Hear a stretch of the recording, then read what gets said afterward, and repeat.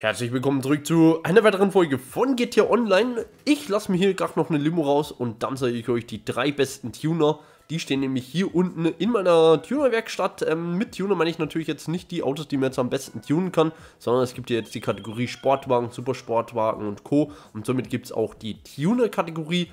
Und ja, da gibt es eben sozusagen diese Straßenrennen, die mit einem neuen Tuner-DLC dazugekommen sind. Das sind insgesamt sieben verschiedene Rennen und dafür sind die Autos zu gebrauchen. Für was anderes sind sie nicht zu gebrauchen.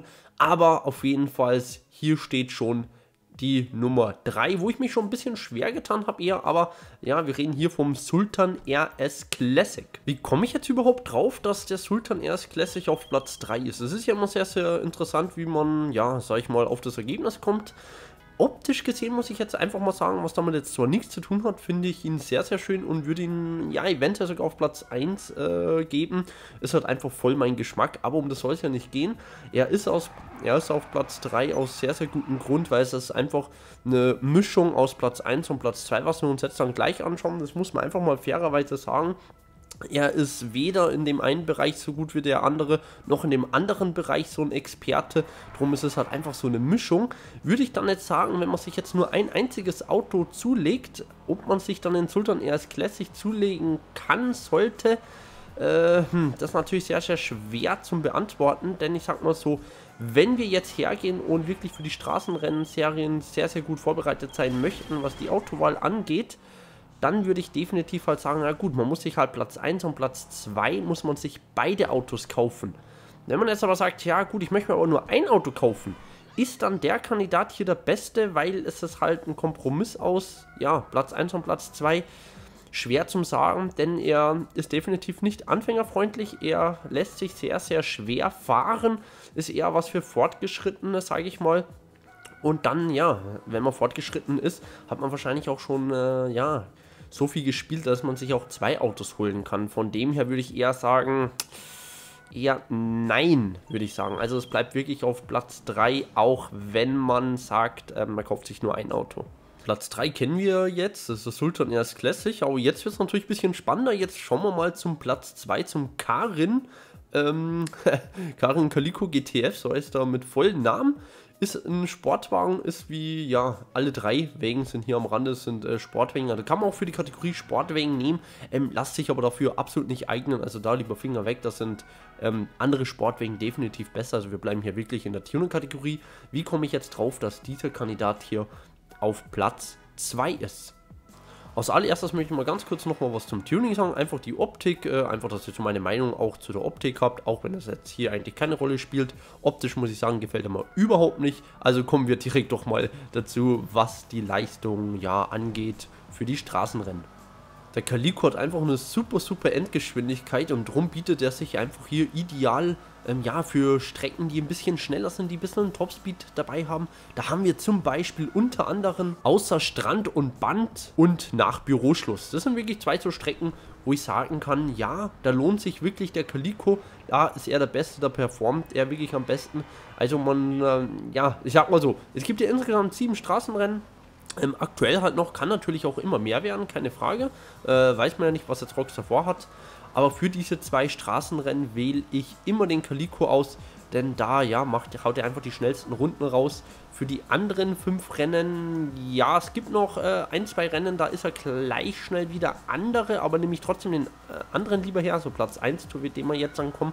Aber auf jeden Fall ähm, für die äh, zwei Strecken mit den größten Topspeed ähm, kann man definitiv den Calico hernehmen, denn er, ja, er haut halt richtig rein. Wir können uns das jetzt dann auch mal ähm, nachher anschauen im Vergleich, ähm, was eben die Endgeschwindigkeit angeht, den Topspeed angeht, ähm, im Verhältnis zu Platz 1. Jetzt kommen wir natürlich zu dem Teil des Videos, was natürlich am allerspannendsten ist und was wahrscheinlich auch ja, ja jeden interessiert am meisten und zwar der Nummer 1 Kandidat und das ist der Emperor. Absolut mein absolutes Lieblingsauto, mein absoluter Favorit. Aber warum er so gut ist, ja, was ihn da wirklich ausmacht, wo sind seine Stärken, das erfahrt ihr jetzt. Wir schauen uns jetzt erstmal die Höchstgeschwindigkeit an. Wie gesagt, ähm, der Calico auf der linken Seite ist eben das Auto mit der höchsten Höchstgeschwindigkeit.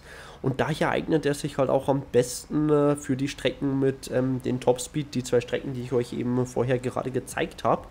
Ähm, es, es, ist ja so, es gibt insgesamt sieben verschiedene Straßenrennen und zwei davon haben eben ähm, ja, dementsprechenden Topspeed, dass der Calico schneller ist.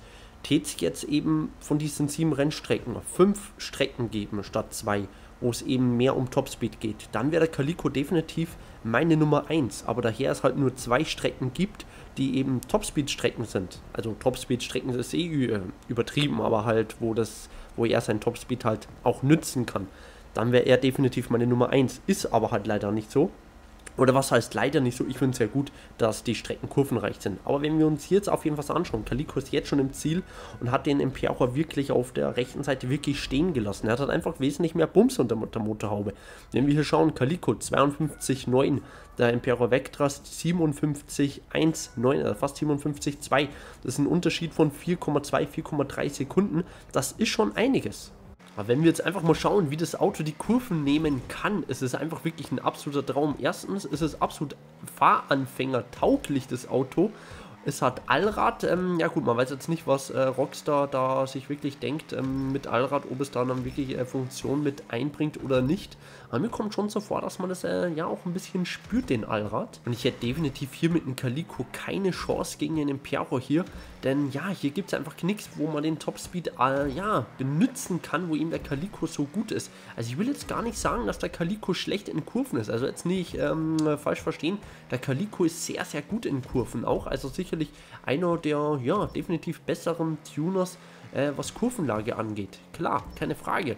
Aber der Impero ist halt einfach nochmal so viel besser in den Kurven. Wenn wir hier jetzt schauen, hier ist wirklich eng, hier müssen wir uns konzentrieren. Hier durch, tschak, tschak, tschak. Hier, hier geht schon wieder weiter. Also es ist ja wirklich Kurve an Kurve.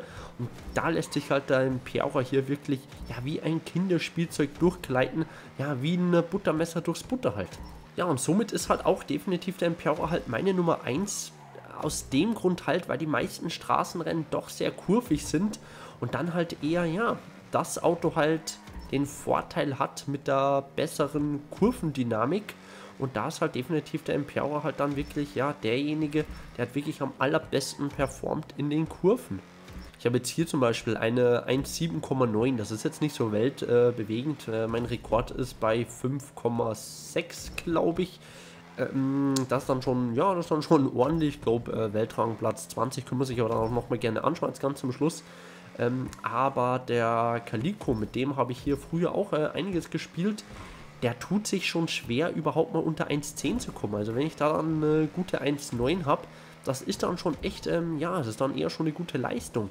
Also ich bin hier mit dem Empiora bin ich hier auf der Strecke sicherlich um die 4 Sekunden pro Runde schneller als wie mit einem Calico, ne? obwohl der Calico eben beim Topspeed vorher jetzt gerade ne, 4 Sekunden äh, schneller war wie er, aber wenn es dann wirklich halt auf die Strecke geht, ne, die halt nicht nur geradeaus geht, dann ist halt der Empiora einfach definitiv meine Nummer 1 und somit ist halt auch, ja, kann ich nur sagen, den Empiora kann ich wirklich empfehlen zu kaufen er ist anfängerfreundlich, macht Spaß und ja, damit könnt ihr wirklich viele, viele Rennen gewinnen. Und es ist auch nicht so, dass der Impero jetzt nur Rennen gewinnen kann, die sehr kurvenreich sind. Nee, man kann natürlich auch ähm, Börsen, ähm, ähm, Büroschluss, meine ich, kann man natürlich auch gewinnen, so ist es nicht. Ähm, nur wenn man halt einen gleich starken Gegner hat, dann würde halt der Calico halt gewinnen, ne? Wenn wir jetzt hier eben in die besten Liste hier reinschauen, ähm, ja, habe ich eine 1,5,69 äh, Weltrangliste 23. Das ist schon, ja, finde ich eigentlich nicht schlecht.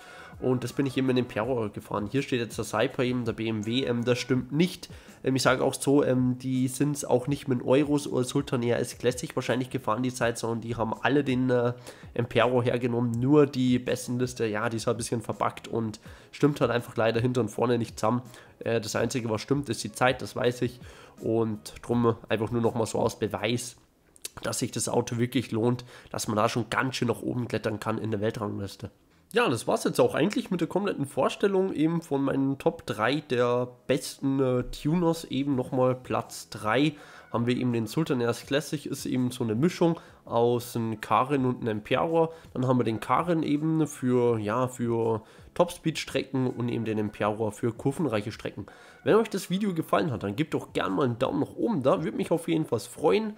Und ja, ich kann euch definitiv einfach empfehlen, kauft euch, wenn ihr das Geld habt, diese zwei Autos und dann habt ihr wirklich alles, was ihr braucht, um Rennen zu gewinnen. Schreibt mir doch gerne einen Kommentar, wie ihr das findet, ob ihr mir da, ja, ob ihr gleicher Meinung seid, sage ich mal, oder ob wir da unterschiedlicher Meinung sind, würde mich auch mal interessieren. Auf jeden Fall in den Sinn würde ich jetzt einfach mal sagen, haut rein, euer Duzi und ciao.